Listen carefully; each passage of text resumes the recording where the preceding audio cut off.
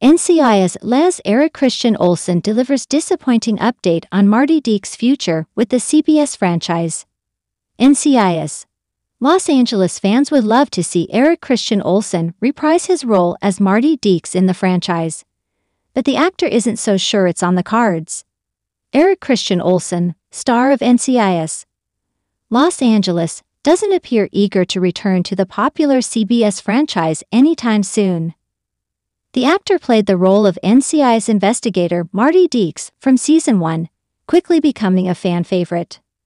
Unfortunately, his time on the successful spin off ended last year when it was cancelled after 14 seasons. While his co star LL Cool J made an appearance in the third season of NCIS Hawaii, which has also been cancelled. Eric doesn't foresee a guest spot for himself in the near future.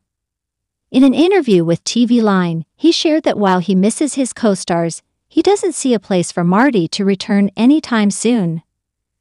I actively miss Todd, James Todd Smith, LL's real name, and I was texting with Renee Felice Smith this morning, and I see sister in law, Daniela Ruah, all the time, he shared.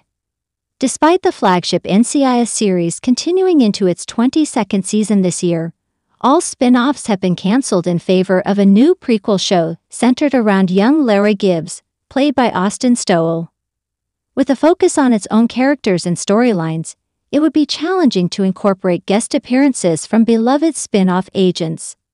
Eric echoed this sentiment, revealing that he doesn't find himself wanting to play Deeks again, not so much.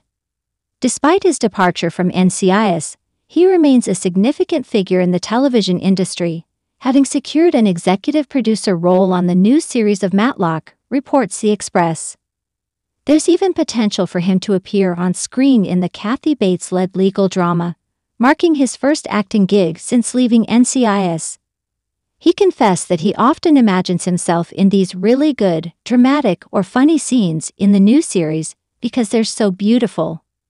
Whether reprising his role as Deeks or introducing a new character, fans would undoubtedly be excited to see Eric return to their screens. Outside of his professional life, he relishes in marital bliss with his wife Sarah Wright and their three children.